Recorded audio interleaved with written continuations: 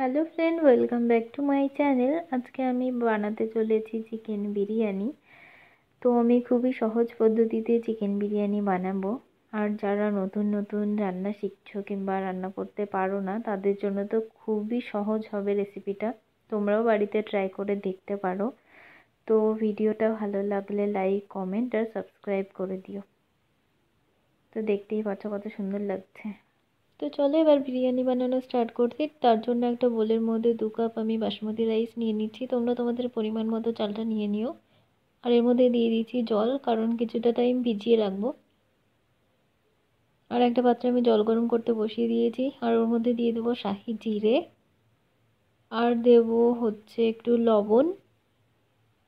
আর তার মধ্যে দেব একটু তেল। তারপর আমি আগে থেকে ভিজিয়ে রেখেছিলাম যে চালটা।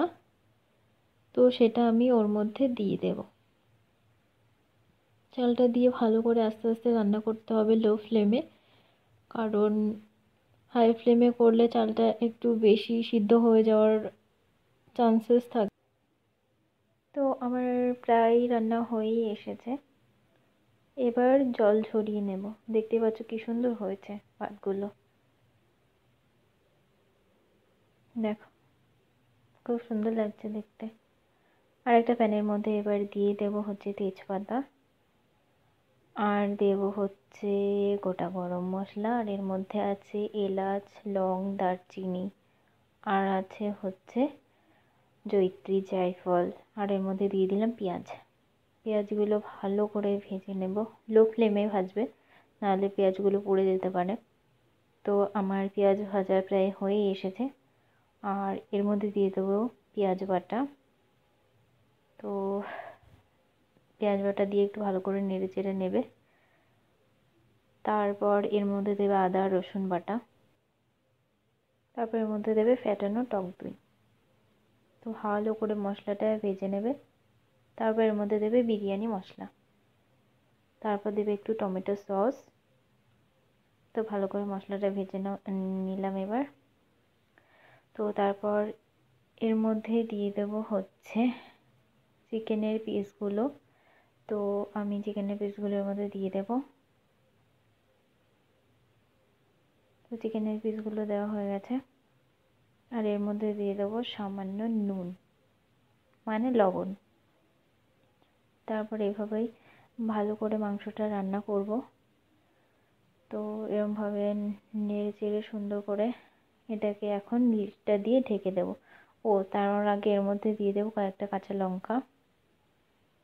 কাঁচা লঙ্কা অনেকে পছন্দ করে, অনেকে পছন্দ করে না। তো তোমাদের ভালো না লাগলে দিও না। তো এরপর লিডটা দিয়ে অফ করে দেব। তারপর লিডটা খোলার পর মাংসটা প্রায় হয়ে এসেছে। দেখতে পাচ্ছ কি সুন্দর কালার এসছে।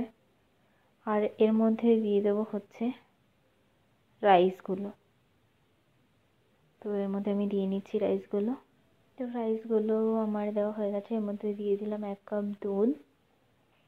আর তারপর এর মধ্যে দেব হচ্ছে ফুড কালার আর তারপর এর মধ্যে দেবো হচ্ছে কেওড়া জল। তারপর দেবো এক চামচ গোলাপ জল। তারপর এর মধ্যে দেবো হচ্ছে এক চামচ ঘি। তারপর লিডটা অফ করে দেব। তো দেখো আমার বিরিয়ানি রেডি হয়ে গেছে। আর কি সুন্দর লাগছে দেখতে। খেতেও খুব সুন্দর হয়েছিল। যারা খুব সহজেই বিরিয়ানি রেসিপি খুঁজছো, তো আমার ভিডিওটা দেখে বাড়িতে ট্রাই করতে পারো। যারা নতুন শিখছো, তারা তো অবশ্যই একবার ট্রাই করে দেখো। খুব ভালো লেগেছে খেতে, খুব ভালো হয়েছে। এত সময় ধরে আমার ভিডিওটা দেখার জন্য থ্যাংক ইউ আর ভিডিওটা ভালো লাগলে like comment and subscribe to my channel দেখা হচ্ছে নেক্সট ভিডিওতে টাটা।